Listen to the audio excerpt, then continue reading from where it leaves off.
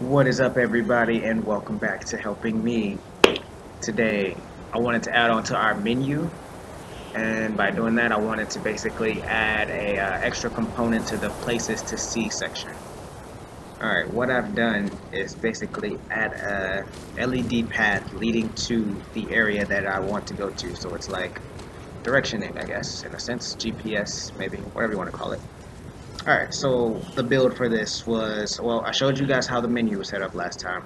Basically what I've done is, I've taken the option 2, so if I go into option 2, Alright, we got three places to see, and they all have their own numbers, 21, 22, and 23 and I've made a path leading from here to the stone elevator, a path leading from here to my wooden house, and a path leading from here to the door setups that we did in previous videos. Alright, the way we set this up was we took our number comparison gate here, and we linked it to all three of these here. We went in with our N, and we set the values on this side here. So this one's 21, the next one's 22, the next one's 23.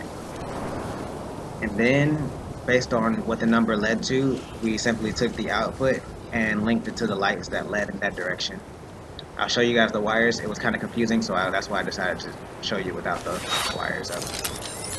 As you can see, there's a lot of LEDs, so wires everywhere. Alright. Now, in future builds, I would suggest uh, linking these to arc signs that will pop a message because when we do pop up the direction that we're going to, the messages will disappear. So let's show you how it works. Alright, so we went to option 2, now we want to go see, let's go see the stone elevator. So stone elevator is 21. Our lights come on, we simply follow the lights, and we're at our elevator. Alright. We should have a message coming back up here, link it to another arc sign and say like, press 2 to return to the places or something like that. And then let's try out the 21. Oh, the same place. Let's try out 22.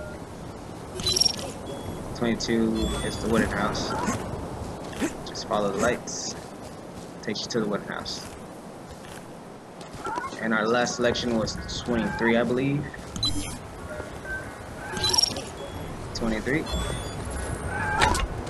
Right to our doors that we set up over here. So yeah, I, I felt like this would be a very, very helpful technique, so to speak. Hey, get your... Ah. But yeah, hope you guys enjoyed the video. Um, hope it's helpful. It, you can do a lot with these things, honestly, if you just think about it.